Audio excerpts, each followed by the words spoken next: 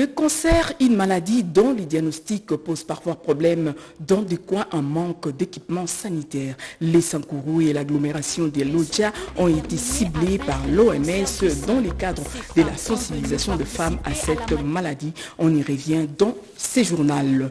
Pas de véhicules sur la chaussée, sans vignette à Kinshasa. La DGRK du moins, ses agents sont sur les terrains. Voici quatre jours pour un recouvrement forcé face au manque constaté de la culture fiscale. Des images à suivre dans ces journaux. Mesdames et messieurs, bonjour et bienvenue à cette grande édition de la mi-journée sur la radio-télévision nationale congolaise que nous ouvrons par la sécurité. Au Nord Kivu, ils ont subi un mauvais traitement et d'autres enrôlés des forces dans les rangs des M23. Quelques éléments de l'armée rwandaise sont tombés entre le mât de FARDC. Ces derniers ont passé sont passés aux AV pour parler de leur opération criminelle sur le sol congolais. Suivez. Juu tuliwatokaka wale Wanyarwanda alisemaka se walikuwa, walikuwa nasema se tukifika Ruwaya na Goma watakamata ile mali yote waiwewe Kagame, sie tubakie vile na se tukiona genzi tuko M- M23 genzi tuko watumwa yavo njo tukitoka vile tulikamataka zile masiraha za FARDC zili- zilikuwa nazia na zile machuma za ndani za kupiga malisasi. Sasa wanatutia mbele wa- wale Banyarwanda wanaona wanaona gezi tuko napigiwa wanatucheka. yanga abandi b'umushumba w'inga Moi j'étais berger de vaches lorsque les rebelles du M23 m'avaient trouvé pour m'enrôler des forces dans la rébellion. Le M23 m'avait pris des forces. Là où j'étais à Boucha, et depuis ce jour-là, je n'ai plus revu ma famille. Dans cette guerre à laquelle nous avons participé ici au Congo, les corps des militaires rwandais qui mouraient au front étaient rapatriés pour enterrement au Rwanda. Mais ceux de nos frères congolais avec qui nous étions dans les M23 étaient abandonnés pour être mangés par des chiens dans la forêt. C'est lorsque j'ai vu que la situation devenait insupportable dans la rébellion que je me suis rendu au FRDC. toroka ku M23 nikajirandre ku FRDC paske nilikuwa natatizwa na bashefu yangu huko, walikuwa wananitatiza kunipika, kukula hatukulake. Nikaona mie ile maisha sitaiweza, nikatoka huko.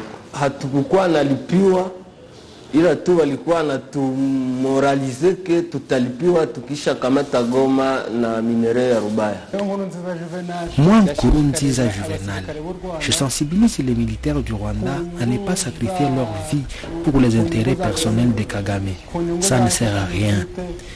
Ils demandent aux militaires rwandais de venir piller la richesse du Congo, les minerais, avec la couverture de venir protéger les Tutsis qui seraient marginalisés en RDC. Cela n'est que mensonge, car le pillage des minerais est la vraie raison de cette guerre. Et à la défense, on nous signale que le chef d'état-major Christian Chiwewe a échangé avec ses homologues de la Tanzanie, de la République sud-africaine et du Malawi. Au centre, la situation sécuritaire dans l'est de la République démocratique du Congo. Suivez.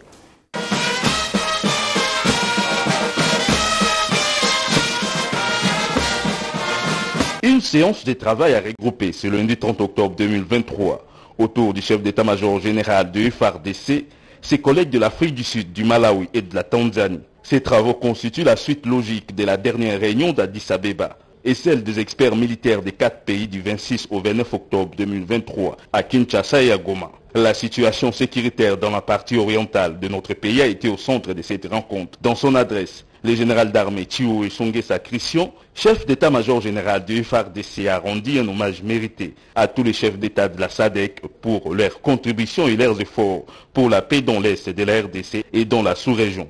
À Monsieur le Président de la République démocratique du Congo, Son Excellence Félix Antoine Tshisekedi Chilombo, pour leur volonté manifeste de contribuer une fois de plus aux efforts de rétablissement de la paix et de la sécurité dans la sous-région et plus particulièrement en République démocratique du Congo, où sa partie Est fait face à l'agression de l'armée rwandaise sous couvert des terroristes du M23.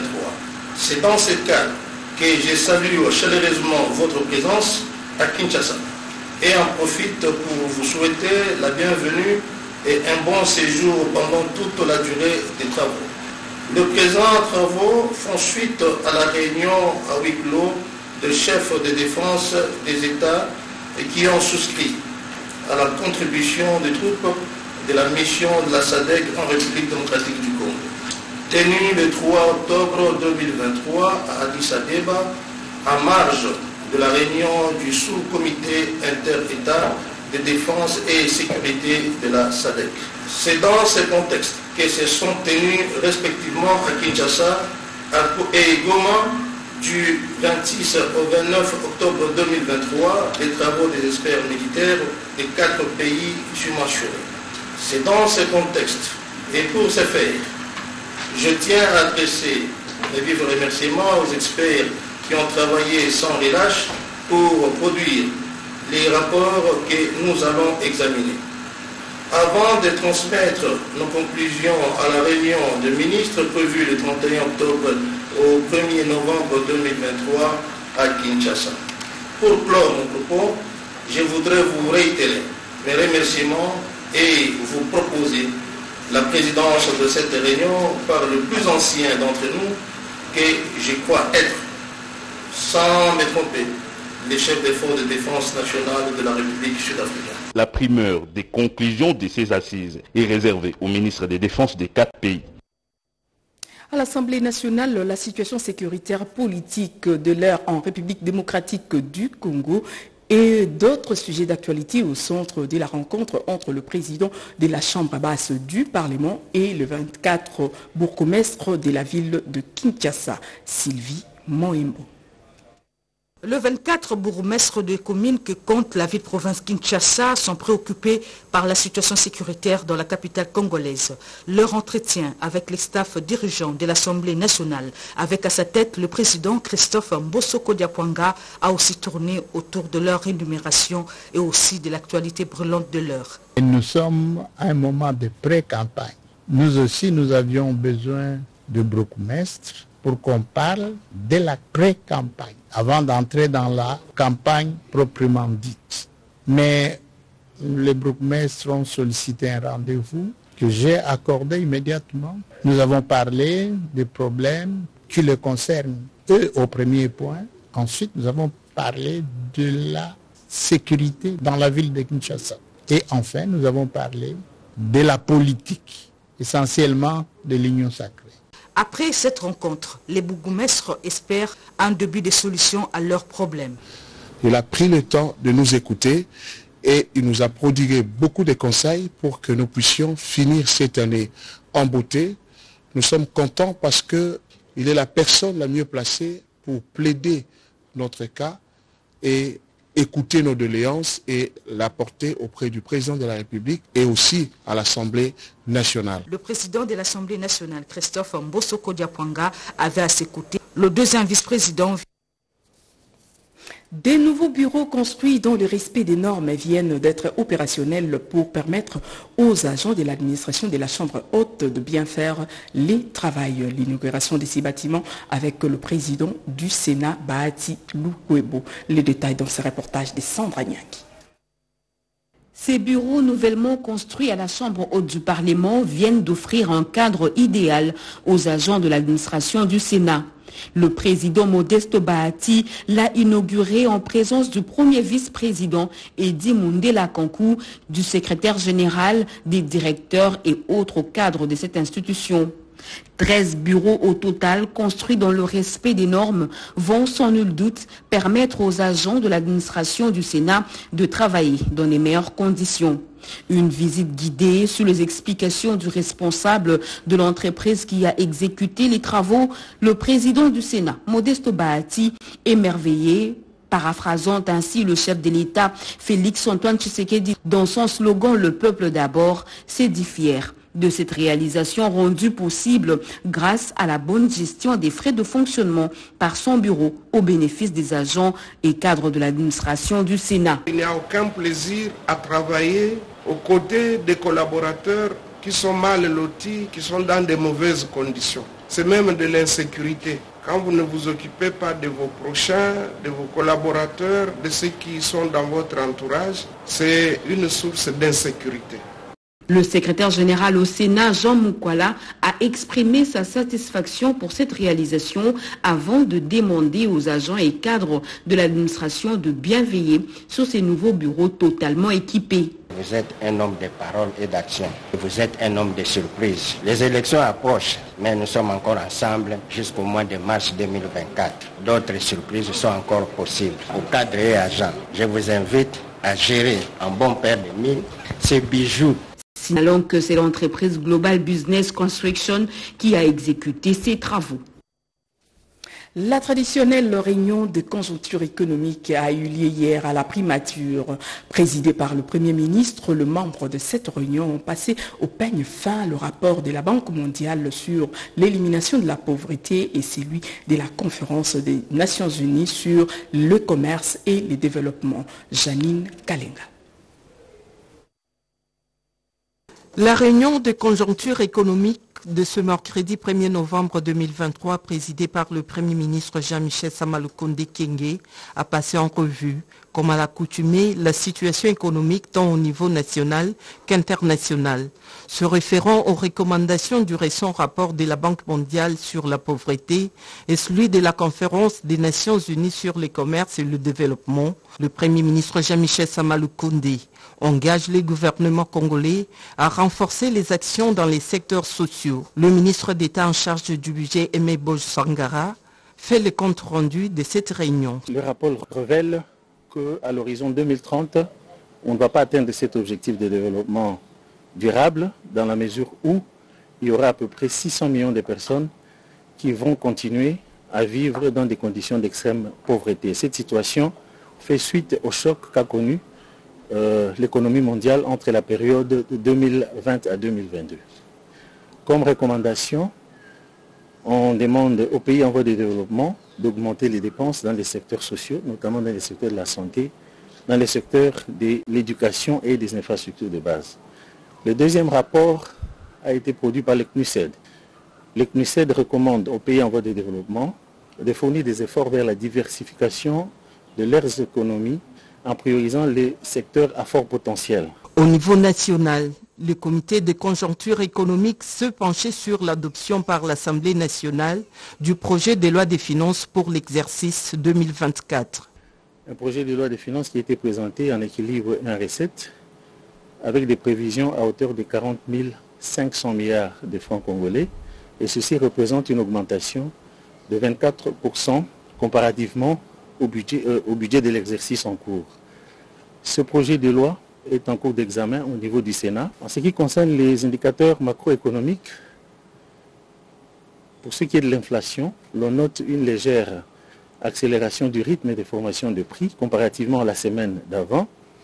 Mais je tiens à rassurer l'opinion que le gouvernement poursuit euh, l'exécution des mesures qui ont été adoptées pour la maîtrise de l'inflation dans notre pays. Il faut signaler que le comité des conjonctures économiques de ce mercredi, présidé par le chef du gouvernement congolais Samalou Kondé, a convié le ministre des Hydrocarbures à cette rencontre pour échanger autour de la question de l'approvisionnement et de la distribution de produits pétroliers.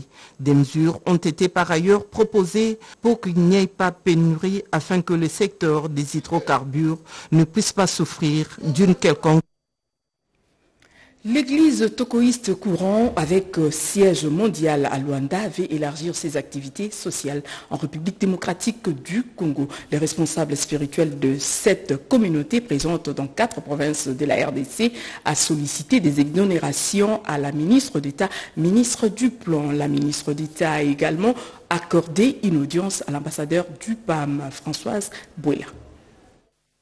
Bouela. S'enquérir de la situation de la femme et de la jeune fille en RDC, le PAM veut renforcer l'accompagnement des différentes actions du gouvernement congolais pour l'amélioration des conditions de vie des femmes congolaises, particulièrement celles vivant dans la partie Est. C'est le sens de la visite de Son Altesse de Jordanie et ambassadrice du programme alimentaire mondial venue discuter avec la patronne du plan. Excellent exchange about uh, the partnership uh, of the government with the World Food Programme. Et nous avons parlé de plus que l'urgence qui se passe. On a aussi parlé du reste du travail que nous faisons dans le reste du pays. pour l'autonomisation des femmes et des filles et un soutien qu'on fait avec les enfants. C'est une responsabilité que nous partageons tous, c'est une responsabilité collective et puis il faut qu'on prenne cette responsabilité ensemble si on veut vraiment soutenir les femmes dans leur bien-être, dans leur avenir et puis surtout dans leur autonomisation. Euh, Toujours dans le sens du développement, l'église tocoïste, dont le siège se trouve en Angola, veut se lancer dans les activités sociales. Le chef spirituel, l'évêque Don Alfonso, représentant légal, vient solliciter des facilités auprès de la ministre d'État, ministre du Plan. L'église toquiste, c'est une église qui se préoccupe surtout de la vie de l'homme quand ils vivent encore ici dans les terres. C'est pour cela que nous présentons ce plan projet ici de construction d'une école euh, technique. Il faut se préoccuper de former les jeunes garçons, les jeunes filles pour être demain un bon euh, citoyen. Le courant tocoïste est présent sur le sol congolais depuis les années 50. Ce courant religieux est implanté dans quatre provinces, Kinshasa, le Congo, le Kwilu et le Congo central. Comme je l'ai annoncé en titre, pas de véhicule sur la chaussée sans vignette à Kinshasa. L'opération recouvrement forcé lancée il y a quatre jours sur le terrain. Le constat est amer. Les assujettis quinois n'ont pas la culture fiscale. Le détail dans ce reportage de Rodé Panda. Traque des véhicules pour la vente des vignettes, quelques engins sont déjà en fourrière. C'est la conséquence de refuser de payer la vignette une taxe de circulation routière. Après le lancement officiel de la campagne de recouvrement forcé vendredi 27 octobre dernier, le directeur général de la Direction générale des recettes de Kinshasa de Jerka, Edith Fumopoko Monsimpo, est de nouveau sur le terrain ce mardi 31 pour le contrôle et palper le déroulement de cette opération en vue de s'assurer du rendement, comme qui dirait L'action étant trop impressionnante, on n'ose pas désobéir. Tour à tour, il a inspecté les sites du boulevard du 30 juin à partir de la place du 30 juin ex-gare centrale. Quatre jours après le lancement officiel de cette campagne, le directeur général de la DGRK a fait encore un constat malheureux sur le terrain bon nombre de véhicules ne sont pas encore en règle avec cette taxe spéciale provinciale et relative au paiement d'impôts. Manifestement, les usagers et propriétaires des véhicules sont loin d'obtempérer au maximum malgré les moratoires. Même les élus du peuple censés observer les lois ne sont pas en règle. Quelques engins sont interceptés et Di invite l'ensemble des Quinois de s'acquitter de leurs devoirs civiques pour la construction de la ville, province Kinshasa, et surtout donner à l'exécutif provincial le moyen de sa politique. Lancée le vendredi 27 octobre, cette campagne de recouvrement forcé de la vignette 2021, 2022 et 2023 ira jusqu'au mois de janvier 2024, a souligné le directeur général de la DGRK.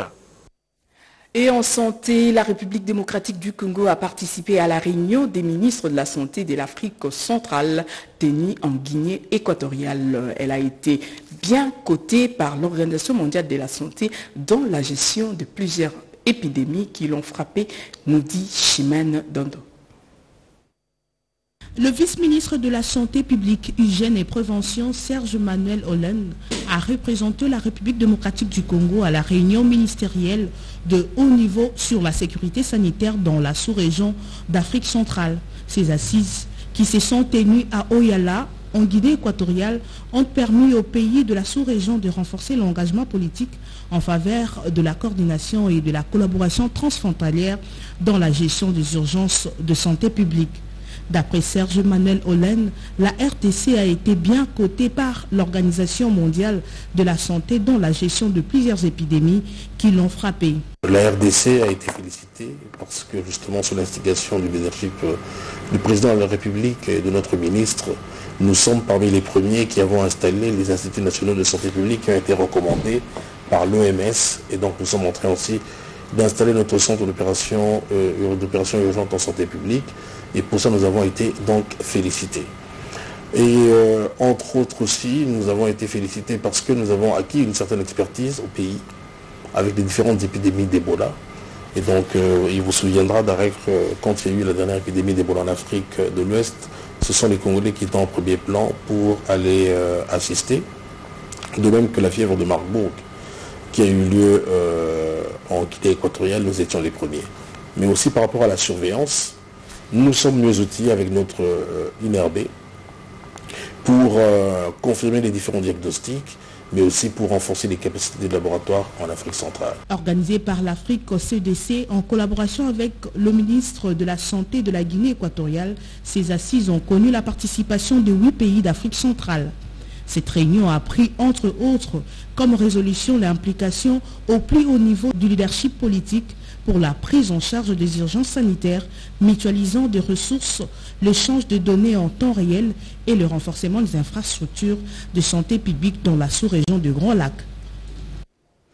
Santé toujours, les urgences en santé publique au centre d'un atelier de formation à Matadi dans le Congo central. Au total, 120 agents et cadres du ministère de la Santé peuvent faire face aux épidémies en République démocratique du Congo, nous dit Constance Mananga. Face aux épidémies, il faut une réponse d'urgence. 60 personnels de santé impliqués dans la gestion des services de santé publique ont été outillés pour cette deuxième cohorte des formations accélérées en gestion d'urgence afin d'aider à faire face aux menaces potentielles des maladies et autres urgences de la santé publique. Une formation d'un mois clôturée par le directeur de l'Institut national de santé publique. RDC, c'est 26 provinces. Et là, nous sommes arrivés qu'à former 4 personnes par province. Nous avons besoin d'avoir un grand nombre de cadres et au niveau national et surtout au niveau provincial qui sont formés en gestion des urgences de santé publique. Nous n'allons pas nous arrêter là parce que le besoin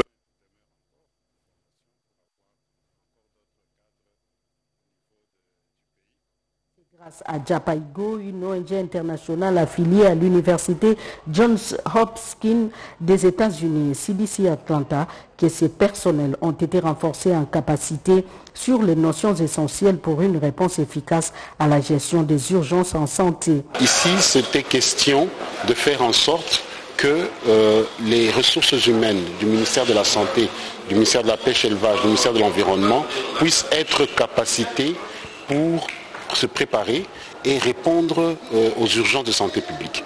C'est une formation de niveau avancé qui va permettre aux 26 provinces d'avoir euh, une capacité dans la réponse aux urgences. Satisfaction pour les participants qui ont appris ce qu'il faut faire et à quel moment lorsque les épidémies surviennent. Ces cadres et agents mettront en place des centres d'urgence dans chaque province. Ils ont réussi des brevets de participation.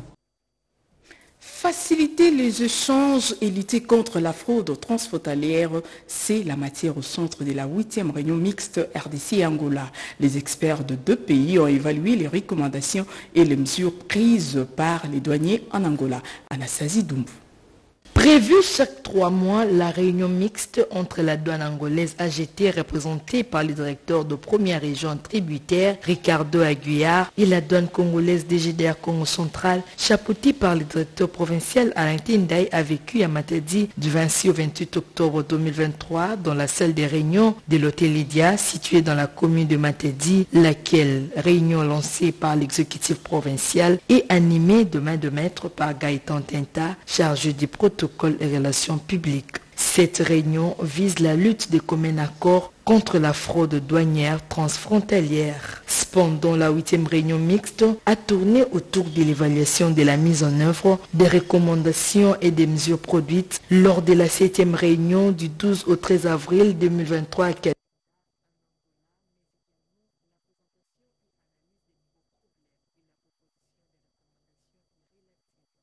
le haut patronage aussi de autorités respectives de la l'AGT, de l'Angola ainsi que de notre DG, Bernard KBC. Nous avons reçu la délégation angolaise, conduite non seulement par la douane, mais ainsi que tous les autres services qui prestent aux frontières. Et de même, nous, au niveau de la RDC, nous avons réuni tous les services qui prestent dans l'ordre opérationnel. Et le but était de quoi? De pouvoir échanger sur les préoccupations pour la facilitation des échanges ainsi que la lutte contre la fraude. Ainsi, elle a été clôturée par le ministre provincial des Finances représentant le gouverneur de province. Il convient de signaler que la délégation angolaise est arrivée jeudi 26 avril 2023 à Matadi et repartie samedi 28 octobre 2023 pour l'Angola après une visite du pont maréchal et les sites à l'Intendai de l'autre rive du fleuve Congo. Nous l'avons dit en titre, le cancer, cette maladie qui pose parfois le problème des diagnostics par manque d'équipement sanitaire. Les femmes de l'ODIA ont été ciblées par l'OMS dans le cadre de la sensibilisation de cette maladie. Les détails dans ce reportage de Patricia Ongo. Concernées, mais surtout déterminées à vaincre les cancers du sein, ces femmes sont venues participer à la matinée des sensibilisations et des luttes contre cette maladie qui touche 2,3 millions de nouveaux cas diagnostiqués chaque année selon l'Organisation mondiale de la santé. Premièrement, l'autopalpation des seins que la fille doit commencer à se la faire euh, dès l'âge de 20 ans. Et il y a une deuxième chose qui est la consultation du gynécologue euh, une fois par année. Et la troisième chose, c'est le dépistage mammographique euh, pour les femmes âgées de 50 ans plus. Lorsque ça s'installe déjà, la guérison est difficile parce que ce sont des maladies, déjà le cancer, vous le savez, qui sont très fatales. La guérison est difficile, raison pour laquelle on recourt au, au dépistage. Alors, tout ce qu'on donne comme euh, traitement de fond sur le cancer du sein, en fait, c'est pour améliorer la survie, en fait, ou la vie de la femme. Vous voyez, pour que la femme qui se sent en dehors de la société, qu'elle puisse revenir dans la société. Éviter de prendre trop d'alcool, le tabac, et manger moins gras, moins salé et au moins 5 fruits par jour, euh, faire de l'exercice physique, éviter la sédentarité. Des mesures préventives ont été proposées au cours de cette rencontre. Les mois d'octobre étaient riches avec des séances de sensibilisation et des dépistages précoces initiés par le ministère central de la Santé. Place à la lecture de journaux Paris ce matin à Kinshasa dans une sélection et commentaires de Jean-Pierre Ndolo Demazo. Suivez. Bonjour à tous. J'examine la population manifeste contre le détournement de 10 millions de dollars américains, titre la prospérité. Selon le journal, plusieurs manifestations ont eu lieu à Lubumbashi, Kolosi et Likasi pour dénoncer le détournement de fonds craignant à la JICAMINE et appeler le chef de l'État à sanctionner les responsables. Les familles des employés de la JICAMINE veulent faire entendre leur voix dans cette affaire sordide du président du conseil d'administration jusqu'aux agents en passant par l'intersyndicale les noms sont cités selon la partition des fonds. Le dossier touche également les personnes qui ont récemment bénéficié de la confiance du président de la République, ce qui a provoqué la colère dans le champ des agents de la GICAMINE et leurs dépendants, note le journal. Forum des As enfonce le clou et titre 10 millions de dollars non justifiés prélevés sur le compte de Simco, mandataire, cadre et agent de la GICAMINE dans l'œil du cyclone.